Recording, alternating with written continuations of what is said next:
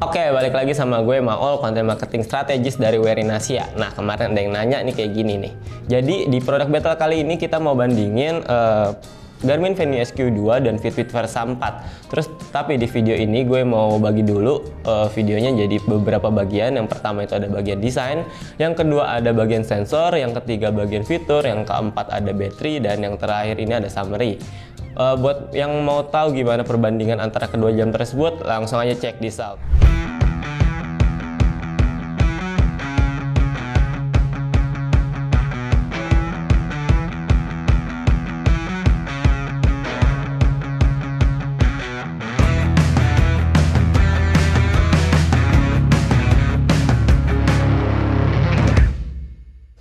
Oke, seperti biasa pertama ini bagian yang desain dulu first impression gua gimana waktu ngelihat kedua jam tersebut. Jam-jam ini nih.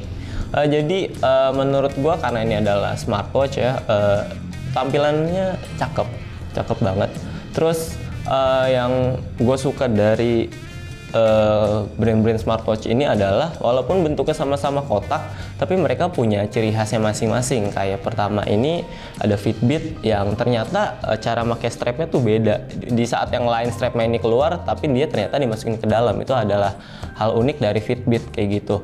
Terus uh, untuk dari desain kotaknya ini atau desain jamnya ini kalau dari Fitbit Versa 4 uh, eh, lebih rounded, lebih mengarah ke bulat, tapi kalau yang Venue SQ2 uh, eh, cukup kotak aja, sedikit uh, rounded. Uh, terus di bagian layar, uh, Fitbit 4 ini lebih besar dibanding Garmin Venue SQ2.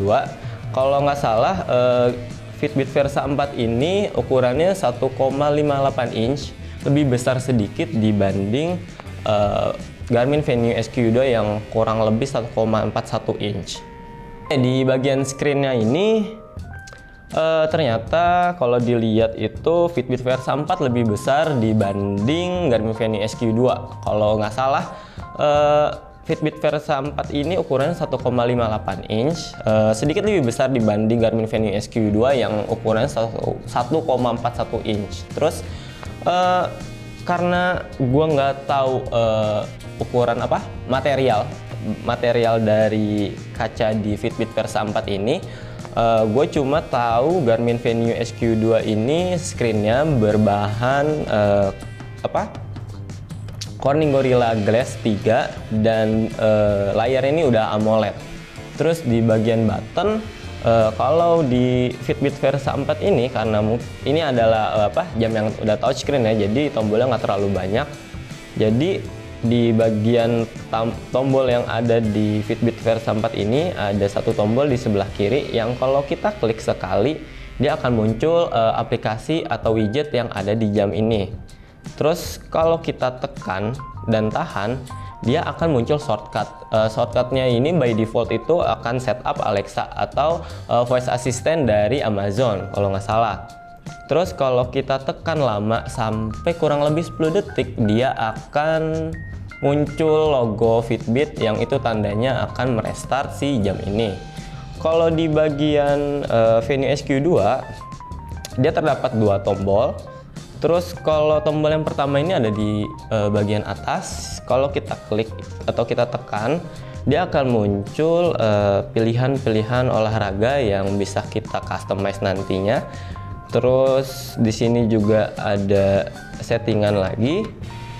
Kalau kita klik uh, tekan lama, dia akan muncul menu kontrol. Yang menu kontrol ini ada lock, ada find my phone, terus ada timer dan shutdown. Terus kalau kita pencet tombol yang bawah, dia akan uh, muncul uh, watch face, clock, dan history. Kalian juga bisa setting di menu yang paling bawah ini. Nah, masuk ke bagian sensor, uh, kedua jam tangan ini memiliki masing-masing memiliki uh, heart rate monitor, terus GPS, dan uh, pulse oximeter serta ambient, light sensor. Uh, untuk lebih lengkapnya nanti akan gue tampilin on paper kayak gimana. Nah, ini juga mungkin orang-orang nungguin atau ini adalah hal yang penting banget bagi beberapa orang. Jadi di bagian VO2 Max ini kalau di Garmin Venue SQ2 uh, setelah kita beraktivitas biasanya dia akan muncul langsung eh, VO2 Max kita berapa. Tapi kalau di Fitbit Versa 4 ini namanya bukan VO2 Max. Kalau dari yang gue baca-baca dia sebutannya Cardio Fitness Score kalau nggak salah uh, dan di mana kita bisa ngelihat itu ada di aplikasi tapi waktu gue otak atik uh, eh, gue masih belum uh, nemu uh, si cardio fitness core ini Nah, masuk ke bagian fitur, uh, kedua jam tangan ini masing-masing memiliki uh, fitur uh, music control atau mengontrol musik. Kalau di Garmin Venue SQ2 ini kita bisa langsung uh, kontrol musik waktu kita beraktivitas. Jadi uh, tampilannya itu pertama ini ada di jam terus sebelah kirinya bisa kita setting uh, untuk edit widget dia akan menampilkan musik kontrol Terus kalau di Fitbit Versa 4 ini kalau gue baca-baca dia ini bisa connect ke Spotify tapi akun Spotify-nya harus premium. Tapi waktu gue coba kemarin dan tadi juga uh, belum muncul nih uh, aplikasi uh, Spotify atau aplikasi musik kontrol yang ada di Fitbit Versa 4 ini. Nah, karena ini adalah smartwatch, jadi uh, kedua jam tangan ini memiliki fitur musik kontrol. Jadi itu gimana maksudnya? Uh, kita bisa ngontrol musik kita atau seperti play atau pause atau ganti lagu selanjutnya dengan jam tangan aja jadi kita nggak perlu pakai handphone nah kalau di Garmin Venue SQ2 ini uh, kita bisa uh, musik apa ngontrol musik waktu kita lagi beraktivitas Terus kalau di Fitbit Versa 4, kalau yang gue baca dia bisa connect ke Spotify dengan syarat akun Spotify-nya juga harus premium. Tapi kemarin gue coba sampai hari ini gue coba gue otak-atik uh, aplikasi Spotify atau connect kontrol musiknya ini belum muncul di aplikasi Fitbit gue. Entah kenapa gue kurang tahu. Nanti mungkin bisa gue update lagi infonya. Terus uh, kalau di Fitbit Versa 4 ini uh, yang gue suka adalah fitur-fiturnya yang banyak banget. Uh, tapi beberapa masih coming soon. Contohnya itu ada kita bisa teleponan via jam tangan. Yang mungkin kalau di jam tangan lain kita cuma bisa ngangkat telepon aja tapi uh, teleponan tetap uh, lewat handphone. Kalau ini kita bisa ngangkat telepon dan telepon langsung di jam tangan. Kenapa bisa? Karena di Fitbit Versa 4 ini memiliki mikrofon dan speaker. Selain itu juga uh, fitur yang masih coming soon atau yang akan datang itu ada Google Map. Jadi uh, mungkin bisa navigasi kali ya kayak yang ngasih arahan segala macam kayak Google Maps. Untuk lebih lanjutnya gue kurang tahu. Mungkin nanti misalkan udah ada update-nya bisa kita bikin lagi videonya. Terus selain itu yang udah ada sih uh, fitur voice assistant by Alexa dari Amazon yang kayak mungkin kayak Google Google Assistant ya, tapi ini mungkin versi dari Amazonnya. Eh, di bagian VO2 Max ini kalau di Garmin uh, biasanya setelah lari atau beraktivitas akan langsung muncul eh, VO2 Max kita. Tapi kalau di Fitbit Versa 4 ini uh, dia namanya bukan VO2 Max tapi namanya Cardio Fitness Score kalau nggak salah. Nanti uh, data itu akan muncul di aplikasi Fitbitnya. Oke, masuk ke bagian pulse oximeter atau menghitung uh, kadar uh, saturasi oksigen kita. Uh, kalau di fit, uh, di Garmin Venue SQ2 ini kita bisa mengukur langsung uh, di jamnya dengan cara uh, kita cek di jam tersebut. Di sini uh, gue lagi ngitung mengukur pulse oximeter gue. Terus di sini juga ada oximeter yang uh, bantu untuk ngeliat perbandingan antara jam Venue SQ2 dan uh, pulse oximeter yang ada di sini. Nah, untuk di Fitbit Versa 4 ini uh, perbedaannya adalah dia nggak bisa mengukur secara langsung. Jadi kita uh, cara menghitung SpO2-nya ini harus dipakai saat kita tidur. Jadi setelah kita bangun tidur, data SpO2-nya akan muncul. Nah, kalau di sini uh, hasil dari SpO2 gua 95%, sedangkan di oximeter ini kalau dilihat tadi berubah uh, dari 98 ke 99. Jadi perbedaannya kira-kira kayak gitu. olahraga apa aja sih yang bisa kita pakai di kedua jam tangan ini. Nah, kalau di Fitbit Versa 4 uh, untuk awal ya, dia by default itu ada lari, jalan dan sepeda, tapi kita bisa explore lagi lebih banyak. Contohnya ini kalau kita cek uh, ada yoga, ada apa lagi nih? Ada treadmill, ada spinning, ada strength training, ada elliptical, ada swim, ada aerobik dan masih banyak lagi nanti bisa gua kasih lihat deh uh, contohnya kayak gimana. Nah, kalau di Garmin ini, Garmin Venue SQ2 uh, contohnya ada run, ada bike, ada full swim, terus bisa kita tambahin lagi nih di sini. Kita edit lagi. Terus kalau yang gue tahu, kalau nggak salah di sini tuh udah ada olahraga golf olahraga golf, terus di sini ada ski, ada snowboard dan masih banyak lagi. Nah, terus ada tenis juga. Nanti uh, untuk info uh, penjelasan apa aja sih, ada apa aja nanti gue kasih lihat videonya. Oke, okay, masuk ke fitur sleep tracking. Jadi biasa lah ya kalau di smartwatch ini banyak yang sudah memiliki fitur sleep tracking atau sleep tracker. Uh, jadi waktu kita tidur dia akan uh, jam ini akan men-track uh, gimana kita tidur, seberapa lama kita tidur, terus seberapa bagus kualitas kita waktu tidur. Nah, kalau di jam Garmin ini ya uh, dia akan muncul kayak beberapa stage seperti uh, apa deep atau light terus kalau di Fitbit Versa 4 ini yang gue suka adalah uh, dia memiliki uh, fitur noise and snore detection kalau nggak salah ya. Jadi dia bisa mendeteksi uh, suara di sekitar kita seperti uh, dengkuran. Karena kenapa dia bisa mendeteksi? Karena dia memiliki mikrofon yang ada di jam ini. Terus biasanya juga kalau di yang selama ini gue coba ya uh, jam tangan ini cuma ngetrack waktu kita tidur dari malam sampai pagi hari. Habis itu enggak habis itu enggak ada data lagi. Tapi kalau di Fitbit kalau gue cek sih uh, kita tidur siang pun dia akan mendetek seperti kayak misalkan gue tidur siang satu jam atau setengah jam dia akan mendetek uh, tidur siang kita kayak gitu. Terus selain itu karena kemarin gue coba untuk setting alarm muncul tuh notifikasi pop up kayak uh, mau nyalain smart wake alarm nggak?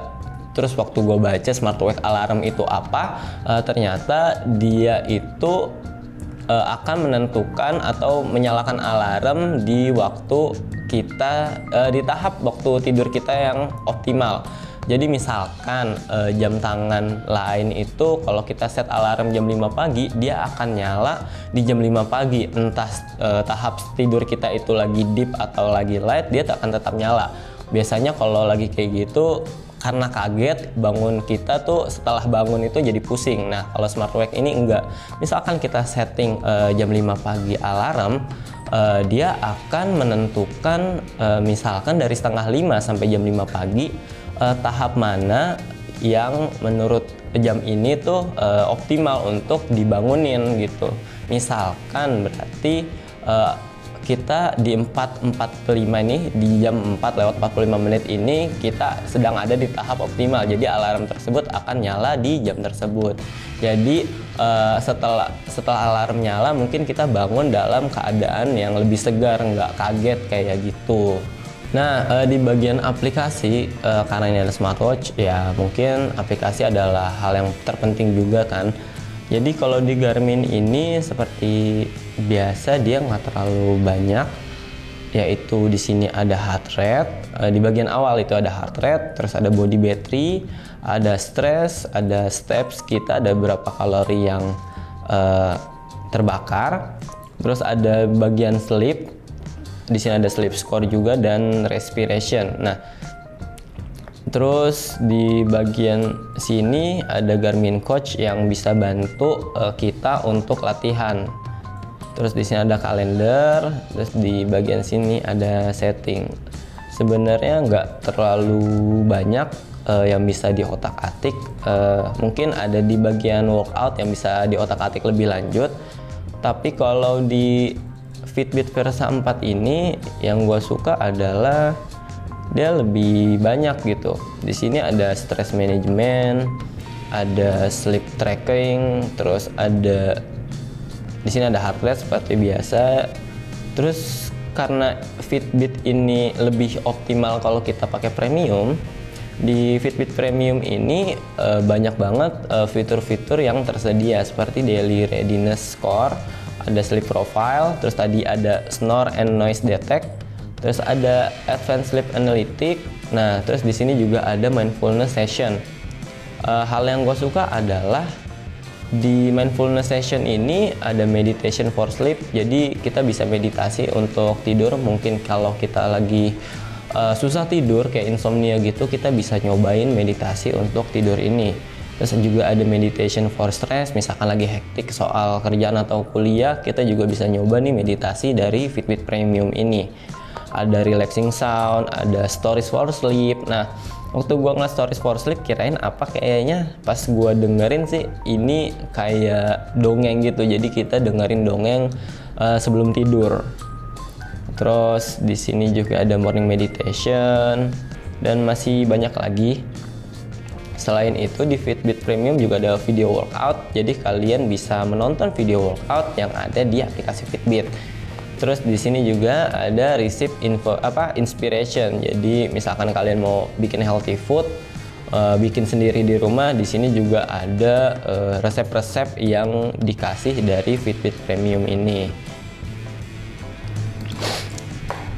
Oke, masuk ke heart rate sensor akurasi kayak biasa uh, eh, gue menggunakan uh, alat tambahan atau device tambahan yaitu uh, chest strap dari Polar H10 yang uh, gue asumsikan misal uh, data dari kedua jam tangan ini yang heart rate yang mendekati Polar H10 uh, itu akan gue asumsikan yang lebih akurat walaupun keakuratannya belum bisa dibilang 100%. Jadi bisa kita lihat di sini uh, yang warna merah ini uh, heart, uh, apa heart rate dari Polar H10 yang warna ungu adalah heart rate dari Venue SQ2 yang warna ungu di bawah ini uh, dari Fitbit Versa 4 mulai dari pertama sini kita lihat uh, heart rate dari uh, Versa 4 ini uh, cukup rendah ada di bawah. Setelah itu kita lihat lagi di sini perbedaannya. Yang lebih sering mendekati uh, si polar beat itu uh, venue SQ2 kalau kita lihat dari sini. Kita lihat ya di sini ternyata bedanya cuma satu bpm aja antara polar dengan venue SQ2 sedangkan uh, Fitbit Versa 4 uh, cukup jauh begitu bedanya. Seperti di sini perbedaannya terlihat jauh terus tapi mulai ke sini mulai saling mendekati walaupun lebih dominan uh, venue SQ2 yang lebih mendekati si Polar ini. Kita lanjut lagi. Sini Polar sama venue SQ2 uh, eh, bersamaan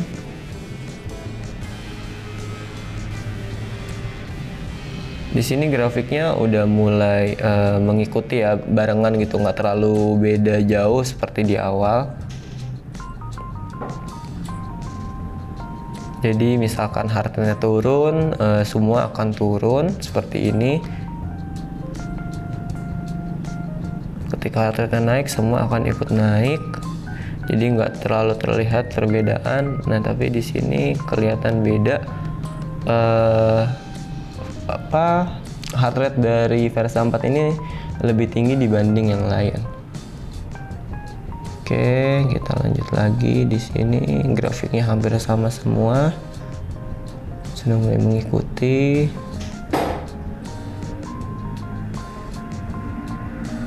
Oke. Kita lihat lagi di sini. Ini ada titik sama sama-sama di 142 bpm selanjutnya nah di sini perbedaannya kelihatan tuh uh, selisih 3 bpm kurang lebih. Sampai akhirnya uh, selesai. Jadi kalau gua lihat perbedaan uh, heart rate dari Versa 4 ini terlihat beda di awal-awal uh, saat uh, aktivitas. di sini kelihatan banget perbedaannya tapi makin lama mulai menyesuaikan dan mulai uh, mendekati dari polar ini tapi secara secara overall uh, gue ngeliat uh, Venue SQ2 ini lebih sering mendekati polar jadi uh, gue asumsikan kayaknya uh, untuk heart rate akurasi uh, Venue SQ2 ini lebih unggul dibanding uh, Fitbit Versa 4 Nah di bagian GPS akurasi ini gue mau ngasih lihat uh, gimana bentuk uh, jalur atau rute dari GPS masing-masing jam ini. Uh, yang pertama yang warna merah ini yaitu Venue SQ2 sedangkan yang biru ini adalah Versa 4. Kita lihat dari sini uh, gue start di titik ini. Tapi untuk Versa 4 uh, cukup jauh ya mulainya malah ada di sini. Uh, terus gue kasih tahu kalau gue lari uh, di pinggir jalan uh, kebanyakan di sebelah kiri jadi eh, nggak uh, mungkin kalau gue larinya nanti ada di tengah jalan. Kalau kita lihat dari sini uh, Venue SQ2 lebih rapi bentukannya sesuai dengan apa yang waktu itu gue lari di sini Versa 4 malah ke kanan jalan sebelah kanan jalan yang uh, artinya itu adalah mustahil. Terus kita lihat lagi yang masih konsisten di pinggir jalan uh, yaitu uh, venue SQ2 kalau dilihat. Seperti ini nah ini venue SQ2 di pinggir jalan sedangkan uh, Versa 4 ini malah ada di uh, tengah jalan bahkan di bagian kanan jalan. Nah seperti ini nih kelihatan banget bedanya. Jadi kalau dilihat uh, Garmin Venue SQ2 ini lebih rapi secara GPS enggak belok-belok. Nah kalau kita lihat lagi di sini ini tepat nih bener-bener belok uh, pinggir jalan banget. Cuma di sini kita terlalu patah nih. Uh, harusnya agak sedikit lengkung. Oke di sini. Nah ini venue uh, Versa 4 nih. Agak agak ini nih uh, GPS-nya nih. Agak-agak ngaco di sini. Belokannya terlalu jauh. Terus kita lihat lagi di sini. Oke. okay. Nah ini terlihat uh, cukup berantakan kalau dari Versa 4 tapi Garmin Venue SQ itu cukup rapi. Dia benar-benar ngikutin jalur yang ada di uh, situasi waktu itu. Nah ini putar baliknya juga nggak rapi kalau Versa 4 terus kita lihat lagi lanjut balik lagi ke sini. Nah ini kalau kita lihat uh, Garmin Venue SQ2 ini lebih rapi ya. Dia sesuai dengan jalan yang gue laluin waktu itu nah di sini ini adalah kayak belokan gitu terus ini oke okay. walaupun agak sedikit patah-patah tapi lebih rapi uh, venue SQ2 dibanding Versa 4. Hmm, kita lanjut lagi di sini. Nah, ini malah ke daerah pohon-pohon si Versa 4.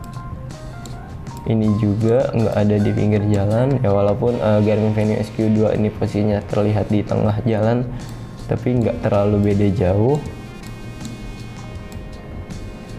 Terus kita lihat lagi. Nah ini ini mulai mulai error mulai apa? Mulai berantakan uh, rute GPS-nya dari Versa 4 ini.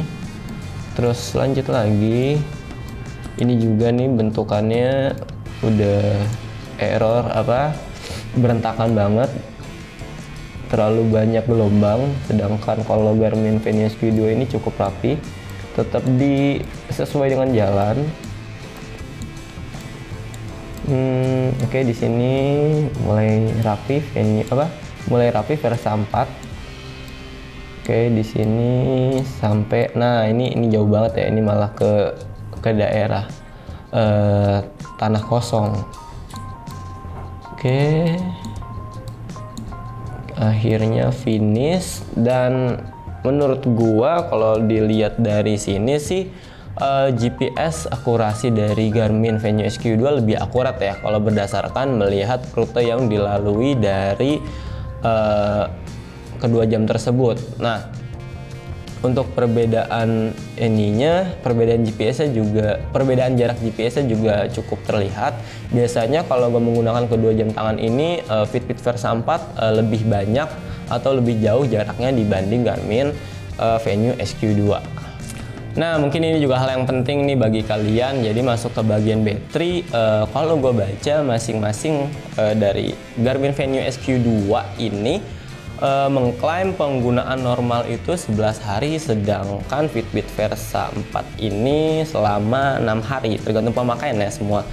Terus karena ini gue bener-bener memakai keduanya secara bersamaan kemarin uh, selama gue udah enam hari memakai kedua jam tangan ini uh, gue cas dari awal 100% uh, terus gue menggunakan kedua jam tersebut untuk lari jadi kurang lebih untuk GPS mode-nya ini satu jam setengah. Kita lihat aja ya uh, sisa dari baterai keduanya. Kalau di Fitbit Versa 4 ini sekarang tersisa 23%. Terus uh, untuk uh, Versa eh untuk uh, Garmin Venue SQ2 ini sisa 40%. Jadi uh, untuk urusan baterai lebih unggul uh, Garmin Venue SQ2 lebih jelas kayak gitu. Oke, okay, udah masuk tahap terakhir yaitu di bagian summary. Biasanya kita mulai dari harganya dulu. Kalau Garmin Venue SQ2 ini harganya 3,39 juta atau 3,4 juta lah ya. Terus kalau Fitbit Versa 4 ini harganya 3,999 juta atau ya 4 juta kalau kita buletin. Uh, terus misalkan ada yang nanya lebih pilih mana atau lebih oke okay yang mana antara Garmin Venue SQ2 atau Fitbit Versa 4 menurut gua tergantung kebutuhan masing-masing dan budget juga masing-masing. Uh, kalau kalian lebih pilih yang sporty uh, kayak mungkin anak pela anak lari lah anak anak lari uh, kayaknya Venue SQ2 ini uh, cocok untuk kalian. Terus kalau misalkan kalian lebih pilih healthy feature atau healthy trackingnya, uh, jam Fitbit Versa 4 ini cocok untuk kalian ditambah lagi dengan fitur dari Fitbit Premium yang bantu kalian untuk uh, menjalani hidup yang lebih sehat gitu.